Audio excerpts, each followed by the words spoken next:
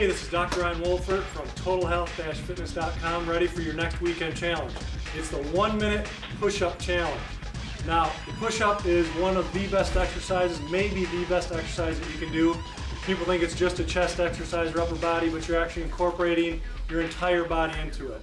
There's even normative data on you know your age and whether you're male or female, how many you should be able to do and what range it's in. And I posted that below, right down below so you can see what your score is when you're done. Here's what you're gonna do. So for guys, they're doing a regular push-up. For girls, they're doing the modified version because that's how it's been measured by the American College of Sports Medicine. Here's what you're gonna do.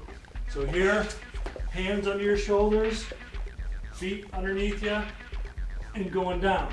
So you, it's not there and there. It's all the way down, all the way up. Lead with the chest, not with your head, not with your hips. Keep your body straight. Lead with your chest, all the way down, all the way up. As many as you can do. You'll see on the tables below that it's measured in two different ways. One, how many push-ups can you do up without stopping? And then the other one, how many push-ups can you do total in a minute? So if you get tired after doing 15, you can stop, shake it out, get going again. But remember, you only have a minute, so keep it moving. Uh, what else? Well, my wife did it a few minutes ago. She did 44 in a minute, modified version. I just did it in 57. What I'm going to have my team do is they're going to do it now and you're going to watch I'm going to be walking around making sure they're doing it right. All right, is everybody ready? Everybody ready? Okay, when I say go, Dr. Aaron's, you doing it? Why not? All right. guys can make sure they're doing it right too. One, two, three, go. Good, all the way down, all the way up. Butt up, Dr. Ian. Lead with the chest. Remember, if you get tired, you can take a break. Or just rest in the up position. All the way up, Mike. All the way up. Get your butt up. Stomach up. A minute doesn't seem that long when it's in your head, but once you start doing push-ups. Good, good job. Keep going. Good, Lori.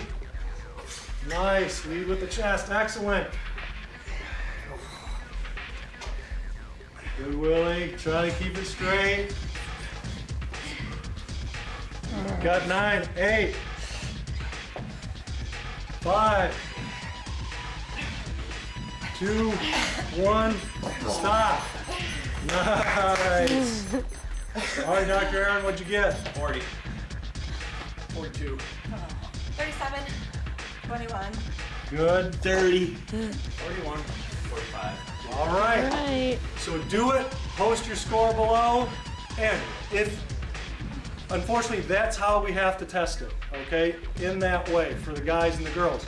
Now, if you aren't happy with your score, if you need to improve it, then you can do 10, 15, 20, work off of that. If you can't even do one of those push-ups, to practice, you're gonna have to modify it. So for example, if you're a guy, you're, you might have to go on your knees and get that motion down.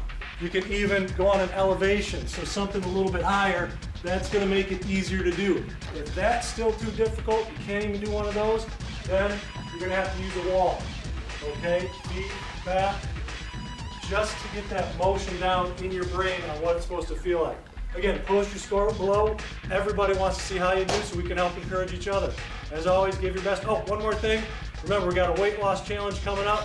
Go to totalhealth-fitness.com to see how you can win $500 and other prizes for being a total loser. Have an awesome weekend.